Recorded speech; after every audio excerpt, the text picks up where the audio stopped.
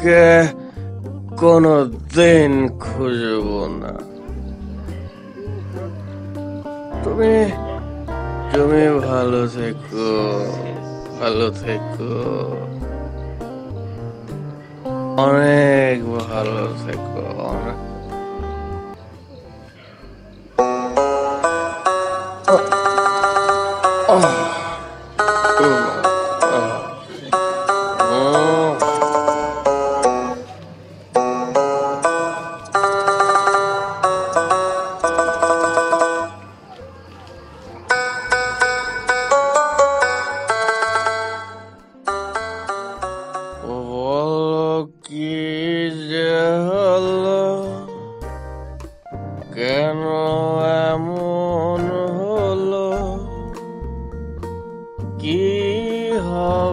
হবে তা জেনে যা হবার তা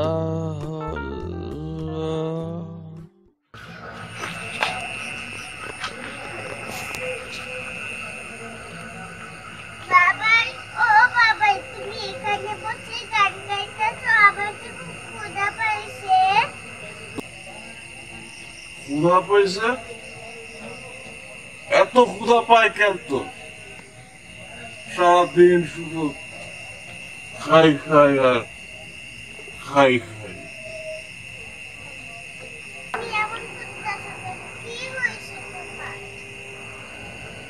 বললাম না যায় এখান থেকে কথা কালে যায় না তো।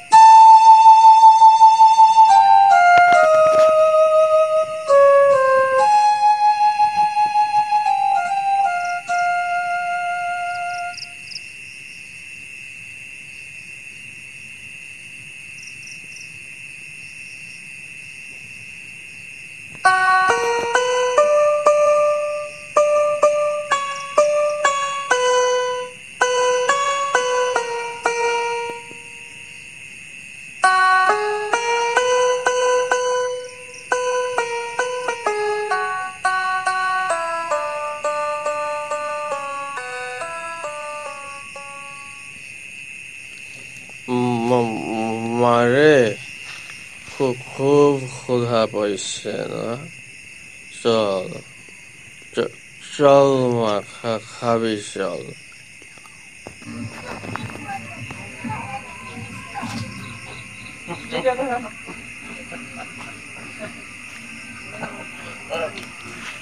আমার আমার মা দেখছি অ- অনেক অনেক বড় হয়ে গেছে আর। আর খাব না রে মা এই যে এই- এই যে কাম করছি আর কোনো দিন খাব না সত্যি আর খাব না তো বললাম তো রে মা আর কোনো দিন খাব না ম- মারে একদিন আমার জীবনেও সব ছিল। সুখ আনন্দ ভালোবাসা সব সব সব ছিল রে মা। সব ছিল।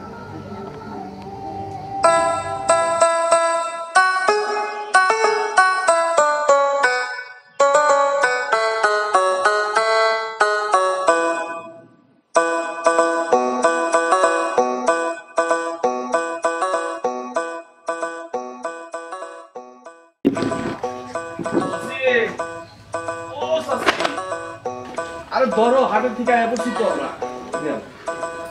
নিয়ে কথা বলতে। গরমটা পড়ছে এটা দেখি। গরম যা পড়ছে এ কই গেলা এ ছাতাটা নেও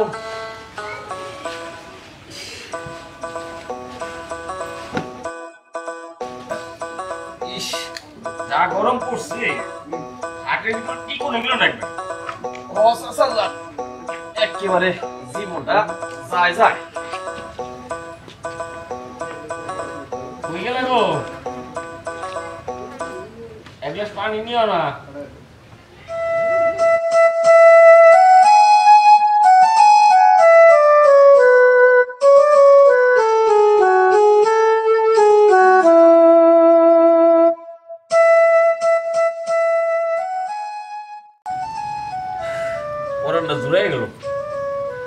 জামরা একবার বের হয়ে গেছি। এই উৎসরে পাড়ালি তুই তো আপনার যাওয়ার কি দরকার ছিল? উৎসব। উৎসব। জি চাচা। যান গরুগুলার না পানি খাওয়া। আজ যে রুদ্র পড়ছে এগুলি বেঁধে রাখিস। ঠিক আছে চাচা যান। আমি এখনই যাইতেছি।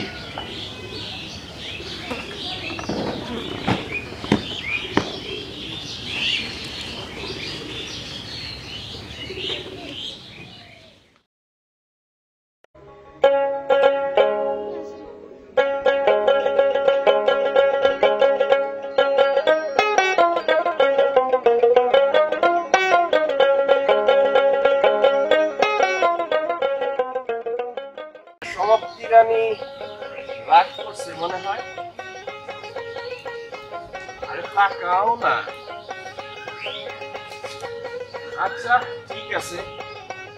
রাগ যখন করছে, আমি যে গঞ্জে গেছিলাম, সেটা কিন্তু আমি কাউকে বলব না। তাহলে থেকে জানছিলাম তারা যে কারে কারে আচ্ছা রাস্তা দিয়া যাইতে সবাই যারে পামু তার ইস শখ কত? আমার বাপের টাকা জিনিস কিনা সে মানুষের দিব। তোমার বাপের টাকার জিনিস কিনছি সেটা কে বলল? বাজারে টাকা চুরি না করলে টাকা পাইছো কই শুনি? গতকাল রাইতে মহাজনের নৌকায় গেছিলাম। মহাজনের নৌকা থেকে যে টাকা পাইছি সেই টাকা দিয়া গঞ্জে থেকে তোমার জন্য কিনে দেখি দেখি দেখি তোমার হাতটা দেখি।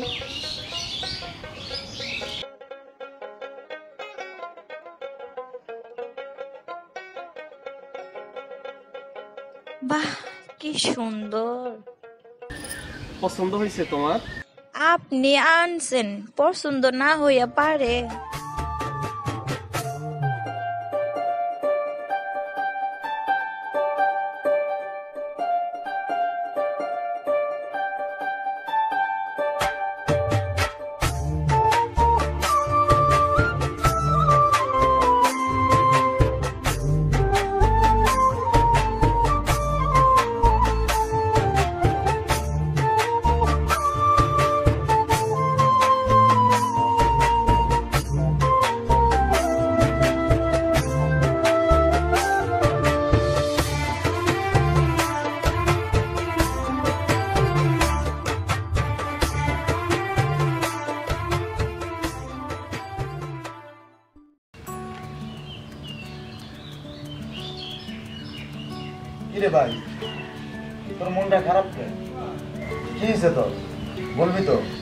ভাইজান জমি জমা যা আছে ভাগ করে আমার অংশ আমারে বুঝাই দাও। আমি তোমারে তেজ্য ভাই করুম। তেজ্য ভাই? কি বললি তুই? আরে আমার জমি জমা যা আছে সবই তো তোর। ভাইজান তেজ পুত্র শুনছি তেজ কন্যাও শুনছি তেজ ভাই তো শুনি নাই। চুপ থাক। জীবনে তো স্কুলের বারান্দায়ও যাসনি। আমার ভাই এই গ্রামের সবচেয়ে শিক্ষিত ছেলে। ও যখন কইছে তখন এটাই আছে। আর ভাই বলতো দেখি তো কি হয়েছে না মানে ওরা যদি জানতে পারে যে তুমি আমার ভাই তাহলে ওরা আমার লাগে মাইয়া বিয়ে দিব না। মন্ডলের ভাইয়ের সাথে বিয়ে দেব না এত সংস্কার এই গ্রামে? না ওই দক্ষিণ গায়ের একটা মেয়ে আমার খুব পছন্দ। আমি ওরে বিয়ে করতেছে। লালু? জি ভাইজান। যা এখনই ঘটকের সংবাদ দে। জি ভাইজান আমি এখনই যাইতেছি।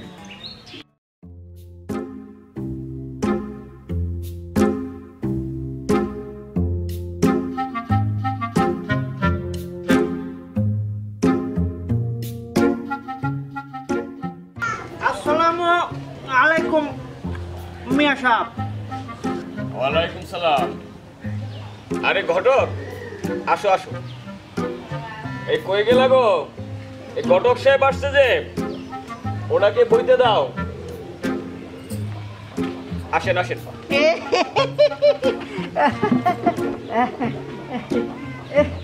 এই বিষয় হইল কি আমি আচ্ছা এই আমার মতো পাক্কা ঘটক তো আর এলাকায় একটাও নাই। জানি জীবনে যতগুলো বিয়ে দিচ্ছেন একটাও টেকে নেই। ছি ছি ছি ছি ছি ছি। এইটা আবার কি করলেন দাদি সাহেব? আমি হইলাম গিয়া ওই ঘটকের ঘরে ঘরে ঘরে ঘটক। সব কিছুই ঠিক আছে। ঘরে ঘরে এটা আবার কি? বুঝলেন না বাবি সাহেব? আমরা হইলাম চার পুরুষ ধরে ঘটক। এই ধরেন আমার দাদার বাপ ঘটক ছিল। আমার দাদা ঘটক ছিল। আমার বাপ ঘটক ছিল। এখন আবার এই আমি ঘটক।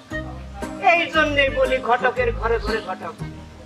অবশ্য ঘটকের ঘরে ঘটকও বলতে পারেন হুম সবই তো বুঝলাম। এখন কি খবর নিয়ে আসছো সেটা বলো। খবর কি বলছেন মিয়া সাহেব? একেবারে পাক্কা খবর। এই আপনার মাইয়ার জন্য একটা সরেশ ফুলার কথা বলছিলেন না? সেই সরেশ ফুলার সন্ধান লই আইছি। আচ্ছা সবই তো বুঝলাম। ছেলেটাকে বলেন তো একটু শুনি। বাবি সাহেব ছেলেটা সরেশ। কিন্তু ছেলেটাকে সেটা তো বলবা। মিয়া সাহেব ছেলেটা সরেশ। কি সরেশ সরেশ বলছো? ছেলের নাম কি তাই বলো আগে। বুঝতে পারেন নাই। ছেলের নাম সরেশ মন্ডল ও তা বুঝিয়ে বলবেন তো একটু। আর বলছি কি মিয়াশা এই বিঘাই বিঘাই জমি গুলা ভরা ধান পুকুর ভরা গরু পুকুর ভরা মাছ আর গোয়াল ভরা গরু। বাড়িতে চাকর বাকরের অভাব নাই। বলল কি? যা বলছি মেয়ের সব একদম মিশা কথা বলি? যেমন ছেলের ছয় চেহারা তেমন ছেলের কয় গড়ন। মেয়ে আপনার সুখী থাকবে। তবে ওই একটু সমস্যা আছে। একটু বেশি।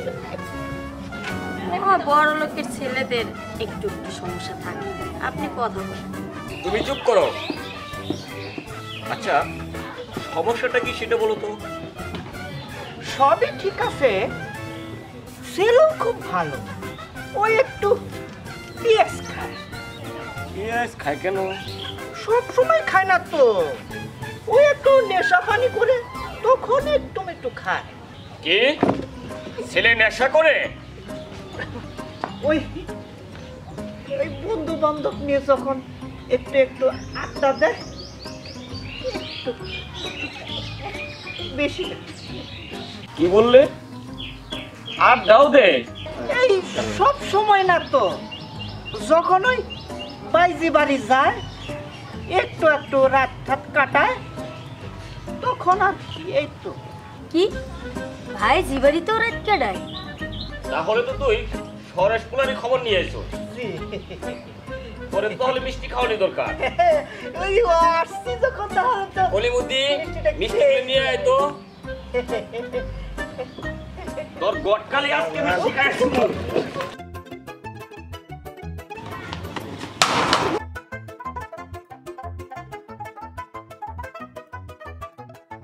শালার ঘটক তোর ঘটক শিক্ষা দেবো একবারে।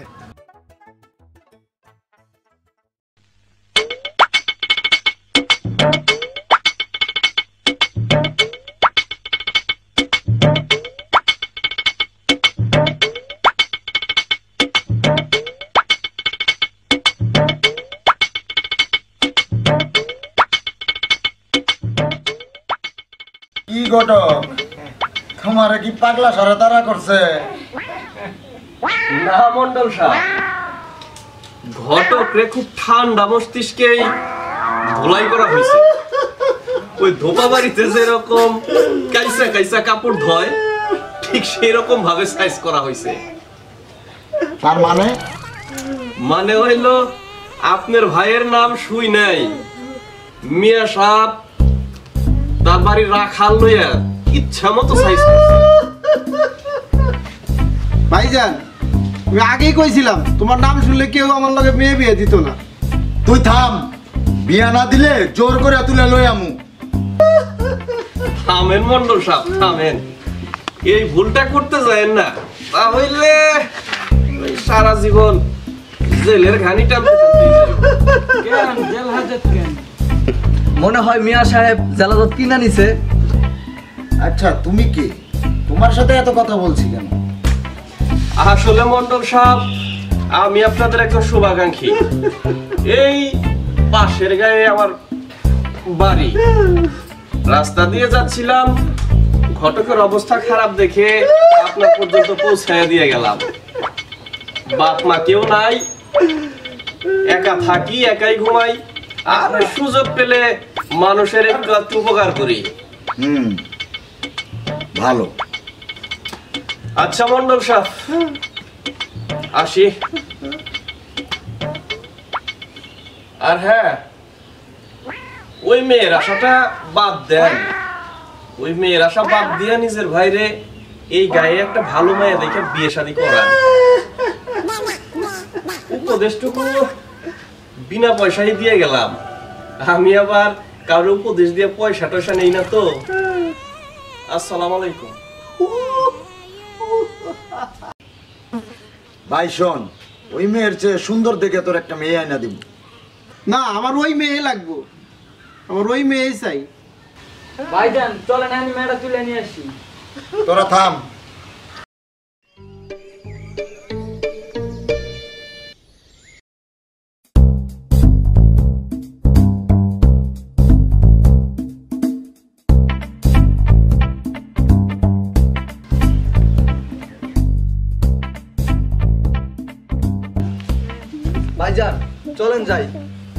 যা হয় আমি দেখুন।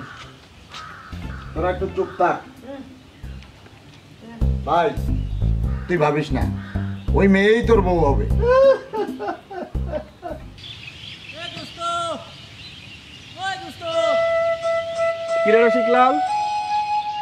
চাচাই তোমারে খুঁজতে খুঁজতে খুঁজতে খুঁজতে না পায় শেষে আমার বাড়াইলো। তোমারে নিয়ে যাইতে চলো। যা তোর রসিকতা ভালো লাগছে না।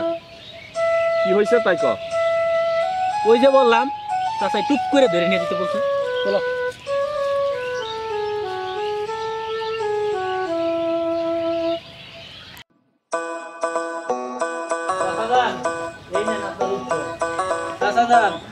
আপনি বলার সাথে সাথে আমি দৌড়ে গেলাম।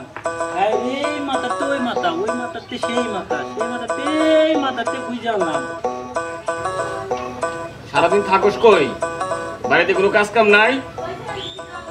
না চাচা যান মানে? আহ তুমি এমন করে পোলাটারে বকতাছো দেখছ না পোলাটা চোখ মুখ শুকিয়ে গেছে। আয় বাবা এদিকে আয়। খাবি কিছু। চল।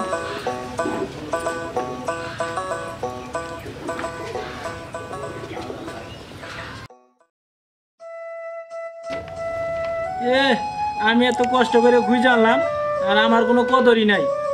যা। তুইও যা এই শুনছ? রসিক দিন খাবার দাও। যা।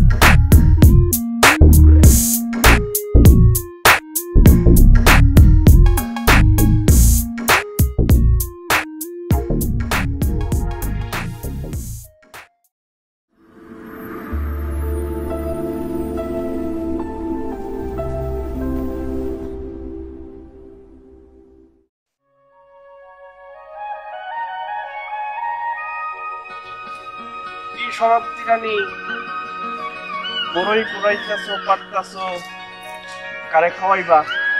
আর যারে খাও না কেন? তোমারে খাওয়াবো তোমার বড়ই খাওয়ানোর লিগে মনে হয় আমার জিভটার রস টুক করে পড়তাছে। ইস রাগ করো কেন? তোমারে ভর্তা বানায় খাওয়াবে বলেই তো এত কষ্ট করে পারল ধরো একটা খাইয়া দেখো। খাও না।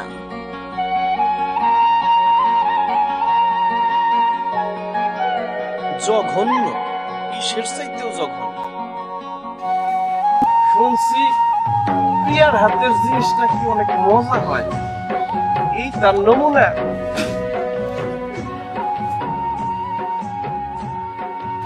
খাও দোস্ত খাও।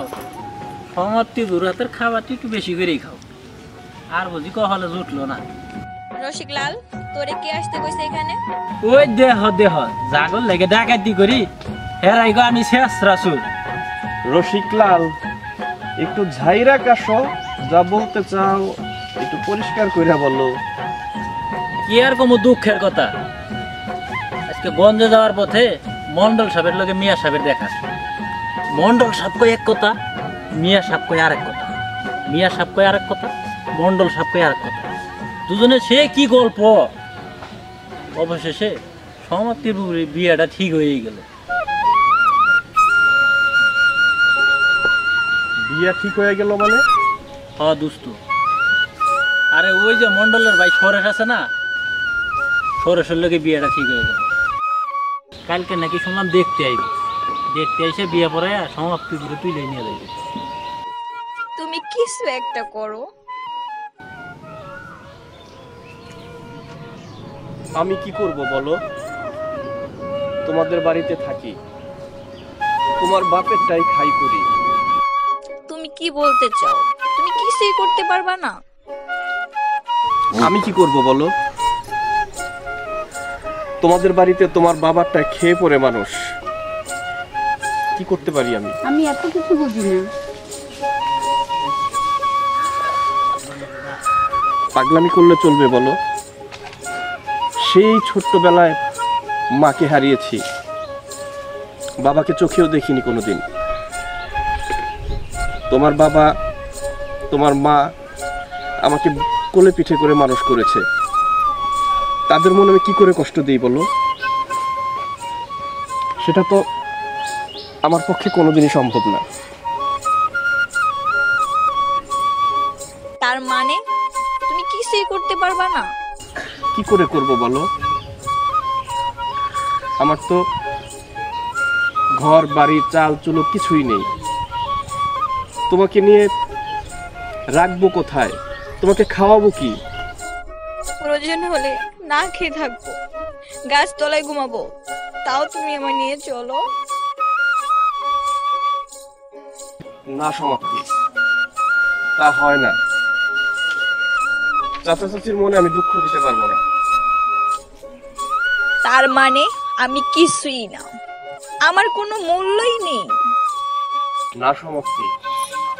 আসলে তুমি যা ভাবছ ঠিক আছে।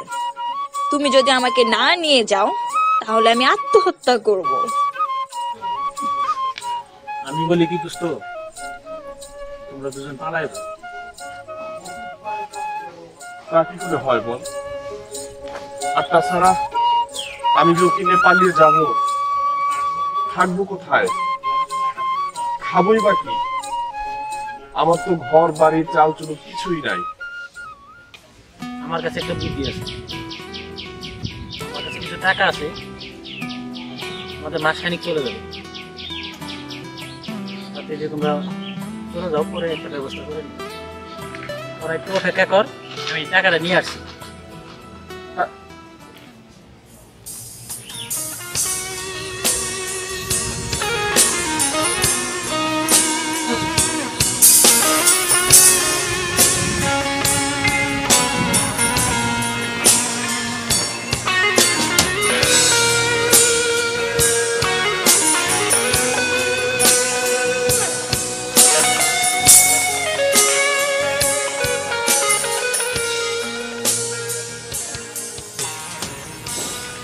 দোস্ত তোর এই দিনের কথা আমি সারা জীবন মনে রাখব দোস্ত।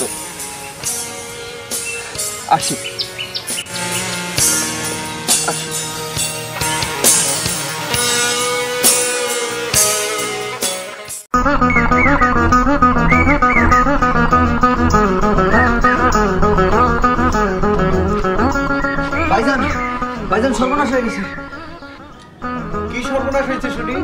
ওই দিন যে ছেলেটা আসছিল ওর নাম উৎস মিয়াবাড়ির রাখাল। শুনেছি ওরা রাখাল নাকি সমত্রে তুলে নিয়ে গেছে। মিয়া সাহেবের কাছে নাকি মুক্তিপণ চাইছে। সব কথা। তোরা সব বানায় বানায় কইতেছিস সব মিছে কথা। তোরা বানায় বানায় কইতেছিস যাতে আমার বিয়েটা না হয়। স্যার ভাই স্যার ভাই স্যার। স্যার ভাই ও তো মরে যাবে। স্যার ওরা তো মারতে পারলে কিনতে বলছে তাতে কি হয়েছে? বাদ দেওয়ার কথা। কেমনে বাদ দেবো ভাইজান কেমনে বাদ দেবো? বিয়ে মাত্র ঠিক হয়েছে। তাতে কি? বিয়ে তো আর হয় না তার মানে? তুমি বিয়ে করো নাই দেখে সারা জীবন আমিও আইবুড়ে থাকব। ভাই তুই একটু ধৈর্য ধর। কালকে এই বাড়িতে মেয়ে লাইন ফেলাই দেবো। ছি ছি ছি। সারা জীবন আমি যারা আমার বুকের মাঝে আঁকলে রাখলাম সে কিনা সে কিনা শেষ পর্যন্ত আমার বুকে ছুরি মারে গেল? এই জন্যই তো কয় লোকে পর কোনোদিন আপন হয় না। যান মেয়েটারে খুঁজছে লয়েন না আমার কোনো মায়া নাই। আজ থেকে আজ থেকে মনে করবা আবার আবার কোনো মায়া নাই। আমার মায়া মরে গেছে। আমার মায়া মরে গেছে।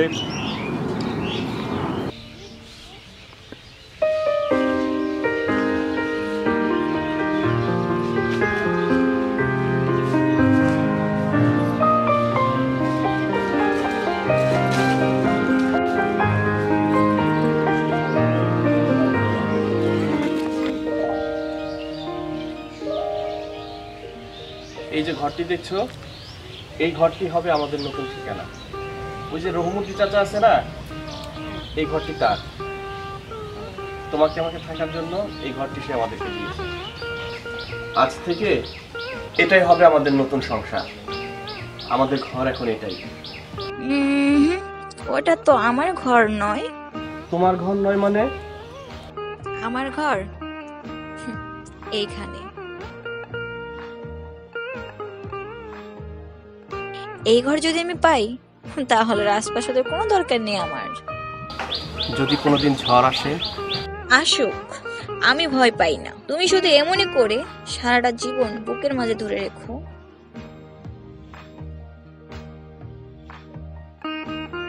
আমি সারা জীবন তোমাকে বুকের মাঝে আগলে রাখব। চলো।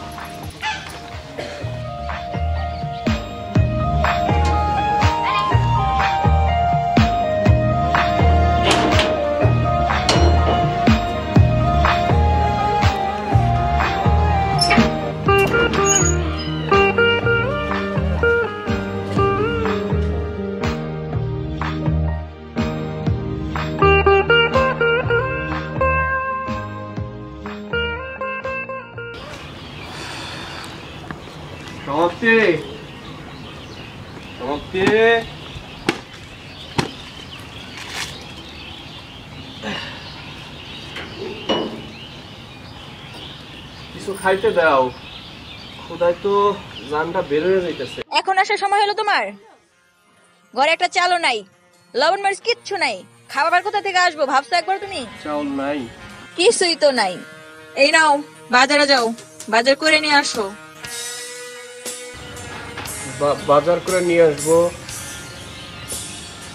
মহাজন তো বিল দেয় না এখনও। তাছাড়া দোকানে যে বাকি হয়েছে তাতে তো মনে হয় না যে দোকানদার বাকিতে সবাই দিব। তাহলে আর কি করবা? আমারই নিয়ে বাজারে তোলো। সমাপ্তি। যা মুখে আছে তাই বলো না। বলব না কেন? বলব না। কেমন পুরুষ মানুষ তুমি? স্ত্রী ভরণ পোষণ করতে পারো না? চুপ! একদম চুপ! আমি তোমাকে জোর করে এখানে নিয়ে আসিনি। সেদিন তুমি বরঞ্চ আমার হাত ধরে আত্মহত্যার ভয় দেখিয়ে তুমি আমাকে এখানে নিয়ে এসেছিলে। সেই দিন কি আর জানতাম? তোমার কোনো মুরুত নেই সংসার চালানো? এতবার বলছি চলো ফিরে যাই বাবা মায়ের কাছে। তাদের কাছে ক্ষমা চাইলে তারা ক্ষমা না করে পারতো না। তোমাকে কিছুই করতে হবে না। তুমি আমার সাথে চলো বাবার পায়ে ধরে ক্ষমা চেয়ে নেব। খুব ভালো বলেছ তুমি। তোমাকে তো আমি বলেছি তোমার ইচ্ছে হলে, তোমার কষ্ট হলে তুমি চলে যেতে পারো। তোমার যেখানে সুখ হয়, যেখানে ভালো হয়, তুমি সেখানেই চলে যেও। আমি বের হলাম কাজের সন্ধানে। তোমার কাছে যদি মনে হয় যে কষ্ট করে থাকতে পারবা, তাহলে থেকো। আর যদি মনে হয় যে এই কষ্ট তোমার সহ্য করা সম্ভব না, তাহলে তোমার বাবার বাড়ি ফিরে যেও।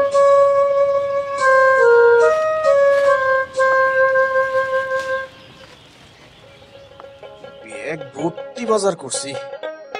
আজ সমাপ্তি ভীষণ খুশি হইব। নতুন কাম পাইছি, অহনার আমাকে কোনো অভাব থাকবে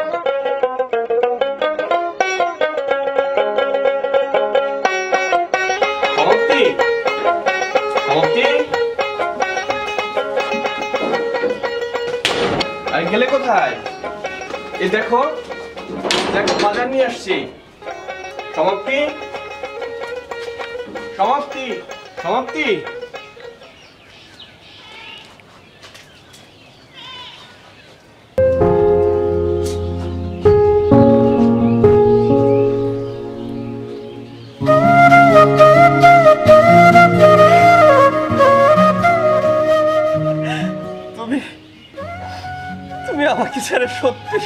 চলে গেলে সত্যি চলে গেলে। তুমি তুমি আর একটু সময় আমার জন্য অপেক্ষা করতে পারলে না। আমাদের আমাদের দুঃখের দিন তো শেষ হয়েছিল সমাপ্তি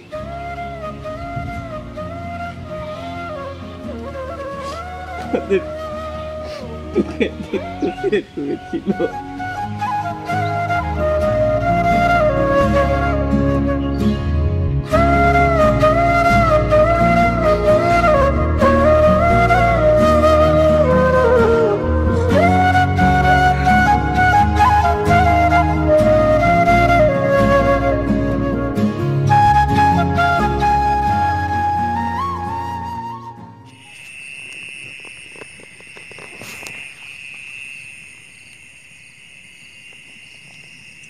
সূচনা, এই সূচনা, ওট, ও ওট মা, ওট খাবি চল, ওট ওট না মা।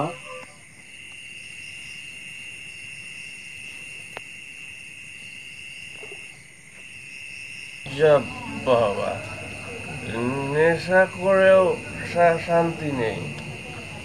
এই এই মেয়ে, তুমি কি তুমি কি আমাকে একটুও শান্তি দেবে না?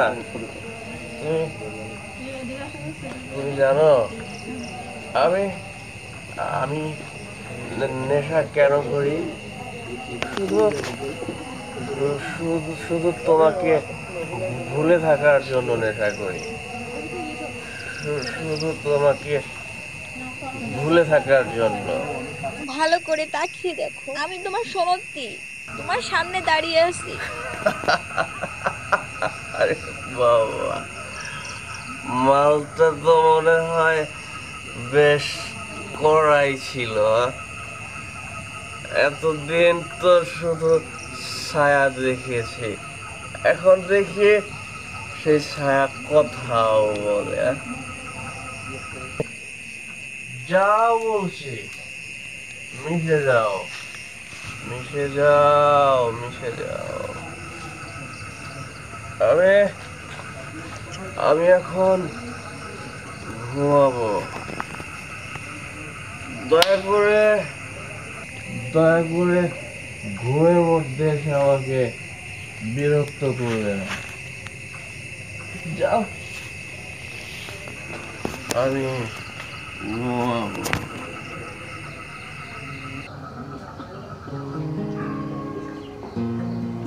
ও ছায়া নয় উৎস ও সত্যি তোমার সমাপ্তি। এখন এখন নিশ্চয় রসিক এসেও বলবে তুই তুই কোনো কল্পনা দেখছিস না সব বাস্তব। হ্যাঁ? ঠিক তাই। তুই কোনো কল্পনা দেখছিস না। তুই যা দেখছিস সবই বাস্তব। শুধু তুই নেশার ঘরে বাস্তবটাকে বুঝতে পারছিস না।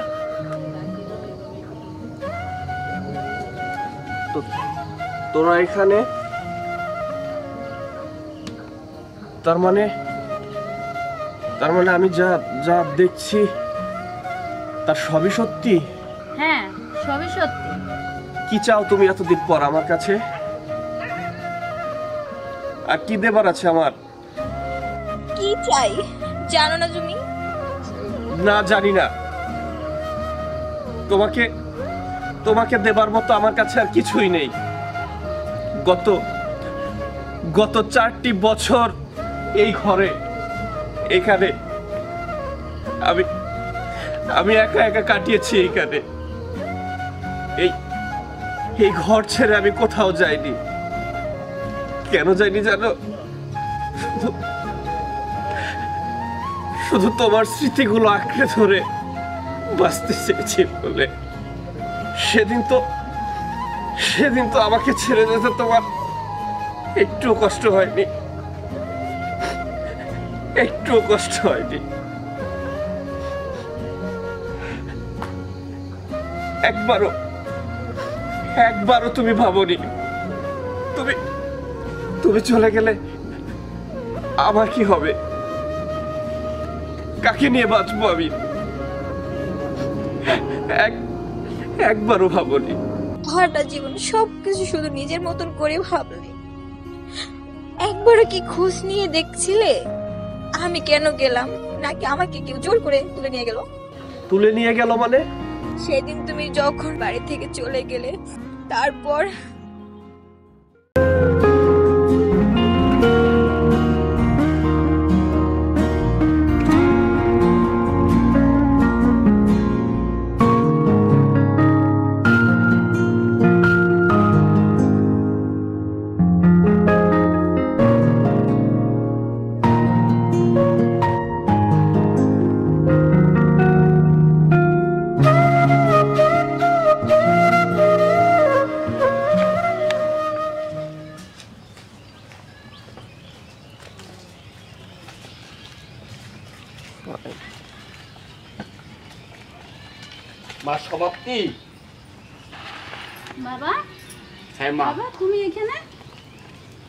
চলে আসার পর থেকে আবার খাওয়া ঘুম সব মিথ্যে হয়ে গেছে। তোর মা তোর মা তোর জন্য কাঁদতে কাঁদতে পাগল প্রায়। চল মা চল আমার সাথে তুই। তোকে আজ আমি বাড়িতে নিয়ে চলে যাব না বাবা আমি ওকে রেখে যাব না। না সমাপ্তি। চল। না বাবা আমি ওকে ছেড়ে যাব না। না সমাপ্তি। না। আমি তোকে না নিয়ে এখান থেকে এক পাওয়া গেবো না। না বাবা না আমি ওকে ছেড়ে যাব কলিম, ধর ওকে। না না উষা!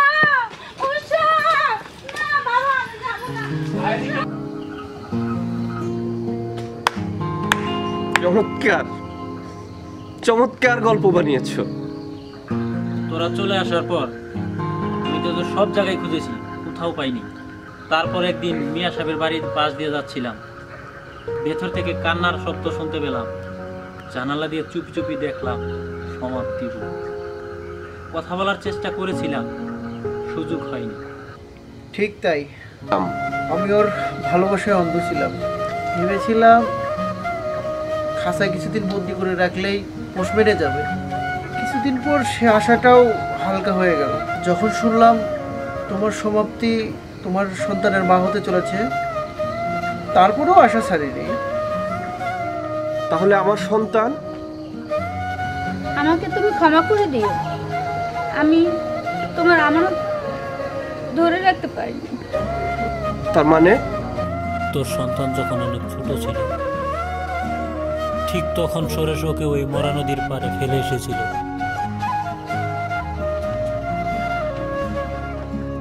ভাই উৎস তুমি আমারে মাফ করে দিও। তোমার যে ক্ষতি আমি করছি তো কোনোদিনও পূরণ করে দিতে পারব না। তাই সমাপ্তিকে তাই সমাপ্তিকে তোমার কাছে ফিরিয়ে দিতে এসেছি।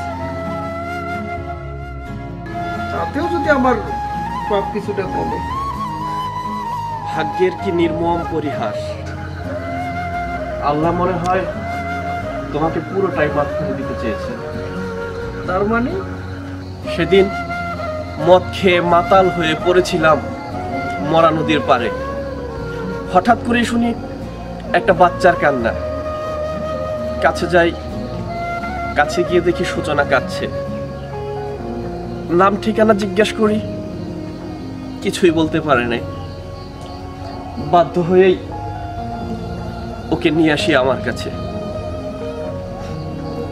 অথচ এতটা সময় কেটে গেল, আমি কোনোদিন কোনোদিন জানতেও পারলাম না যে ও আমার সন্তান। ও আমার সন্তান ও